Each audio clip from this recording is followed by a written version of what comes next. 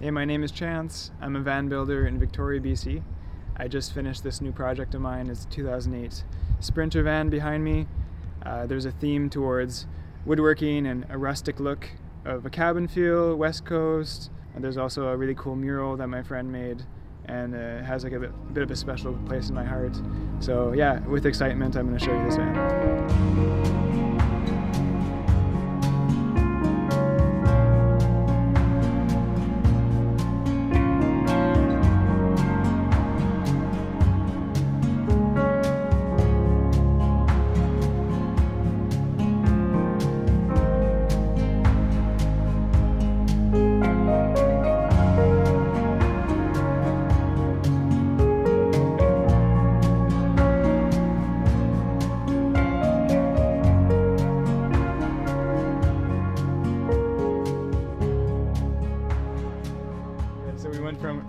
Open space in the front, decided to do like a really simple shoe rack here. That was a, a want for him. And um, we got this nice folding table that we decided to put up. So he does have a choice to keep it open for like a hangout space, or you can have this um, for chopping vegetables or even sitting down with your laptop with a view. I think that was really important. Um, he also wanted a towel rack to dry in the sun. So I thought that was kind of cool with a little hook. And this is a, a pretty easy mechanism that just folds down. And uh, it doesn't move at all when you're driving. It's tight enough to just stay in place. In the kitchen, we got a two burner propane. And uh, he specifically wanted uh, an, espresso machine, which is fairly uh, energy consuming, but it was kind of a priority. We went with uh, a couple cabinets up top with the push button lever for extra storage and we decided to keep the middle part open so that uh, when you're cooking or making dishes there's not a it's not so far in, in, in the face. We also decided to keep a space underneath the cabinets so that you can have your, your toes. It's more of a, a comfortable so it doesn't yeah it doesn't hit when you're cooking. Very simple storage over here. We got three basic shelves. We're planning on putting some baskets in there to keep it all uh, contained. And then there's a bit of a lip so it doesn't come flying out when you're when you're driving. Also, these mason jars were kind of a, a fun idea. Uh, you can just put all your dry goods in there. Right now, I just have pine cones and such uh, for aesthetic purposes, but um, I think it's really nice to uh, easy to get. If you need rice or anything, you can kind of just cook like that yeah, with the galvanized sheet there, I came to a halt a little bit. Uh, I put it on and I was kind of like perplexed with the look of it and how I could tie it into this organic looking uh, countertop and the black accents. But it's fun how with builds you start something and you if you think something looks off, you literally have to play with. You have to take time and sit down and like improvise. Um, so there's there's moments of like actually sitting down in your space and like not being so analytical. Uh, it's more of like sitting down and releasing your inner uh, child or artist to to let let flow what needs to happen. And that's kind of I'm pretty happy with it, you know. But um, there's a bit of uh, anxiety in that area for me. the countertop is uh, it's probably the heaviest, obviously the heaviest piece in the van, and um, I wanted to go with kind of like a, a bang in that for the look of the size and the kind of a uh, yeah, just like a, a, really earthy feel. And uh, it's actually a local cut uh, piece of uh, cedar that we uh, that we gathered, and I'm really happy with it. I think it looks it's got some really nice grains. And I, kept, I kept it kind of rough looking too. I could have really polished it, but I kept it a bit organic. We went with um, an undermount sink, which I think it, it, looks really interesting. It shows off a bit more of the wood uh, instead of having stainless steel cover the sides. It's, it just shows off a bit more of that. The only thing is that if you put it under mount sink, you do have to realize that you do have less room for your, your drainage. So your actual plumbing has to be really shortened up, which I'll show you later. We actually went for a foot pump in this build.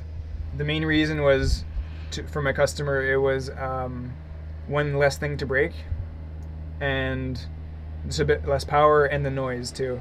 and I kind of threw in the water efficiency part of it. You can each pump you can kind of control uh, the amount of water coming out. I cut out a space here so that it wasn't kind of it wasn't in the way. So now we can just I can just fit my foot in there like this. We opted for a fridge under the stove. We have a roll-out fridge that uh, instead of having to reach in, you can actually slide out on these these levers because it's a top grab.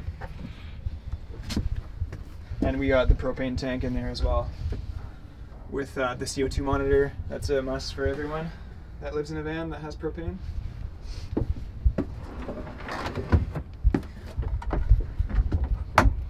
Uh, doors ju- are just on magnets for now, and I feel like that it's been working great so far. Um, I do recognize that there's uh, when you use a lot of cedar wood, there can be expansion and contraction. Uh, so you might have to adjust your your your magnets after a month or so. There, there's definitely some some push and pull. And uh, in here we left room for uh, the solar control and one of the batteries. I did not do the solar in this one. We uh, hired an electrician that uh, really I really wanted to be um, done properly, and uh, I'm still a novice at it. So I, I do like to hire people that are really good at something that create a, a project that's really complete and also supporting friends is something that's really important to me. Another battery here with the inverter that you can have your plugins here. So what runs off the 12 volts, we have these LED lights. There's three of them all through the van. I do feel like they're a bit of a white look. I do personally like the warm white. Um, but they, they do the they really do light up the place. And we will be adding some some nice uh, like string lights for like more if you're looking for more of a mood. So here we have i kind of wanted to build a wardrobe type of thing here. Um, something that you can hang things. Um, i'll show you inside in a minute. But uh, with a huge drawer we can put a lot of things in this one it's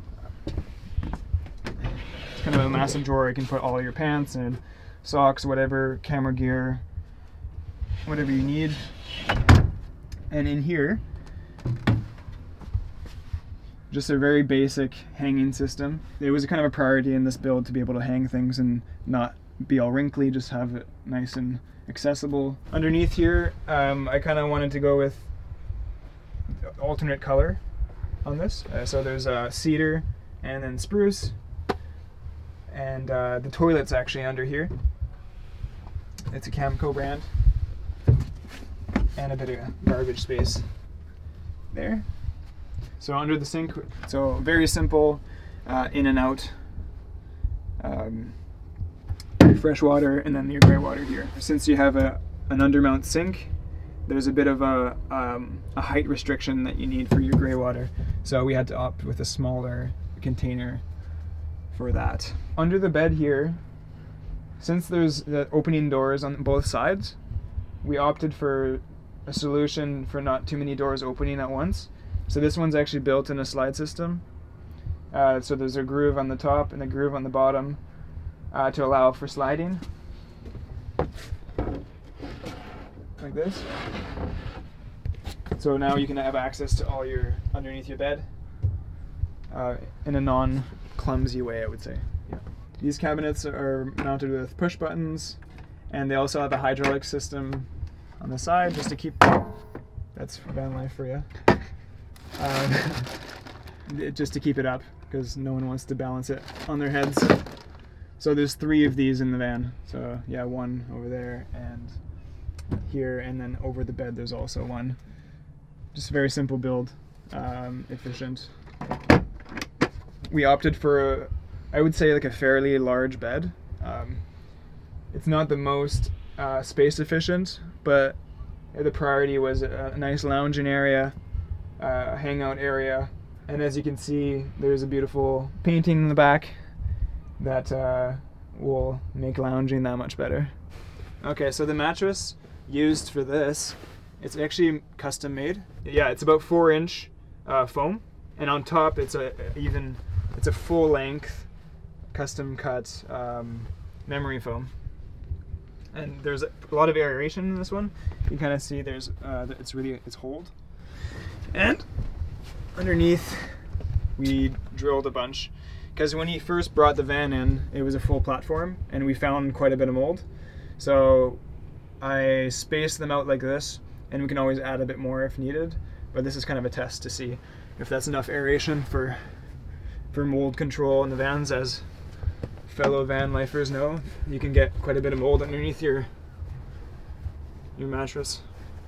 Behind the walls, we have a fair amount of spray foam, and uh, also we went with the one inch styrofoam.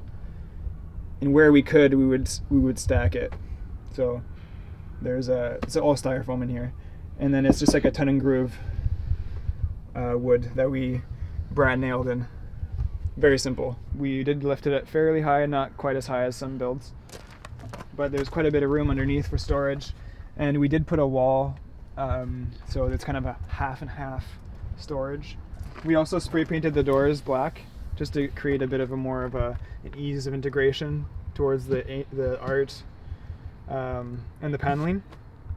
It was a kind of an older white look. Hi, I'm Kashi. I'm the artist who painted this painting. I wanted to bring something that was immersive and uh, beautiful and powerful to this space that will contribute to the already existing beauty within this van.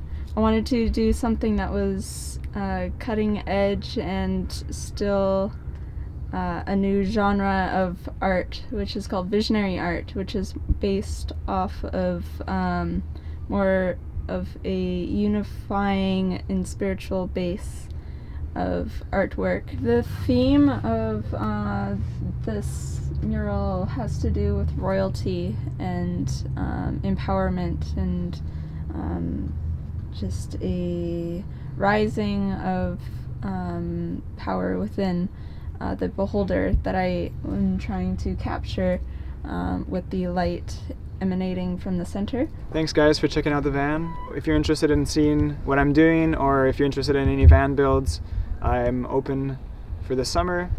So my company name is Midnight Moth and you can also find me on Instagram uh, with The Life of Chance.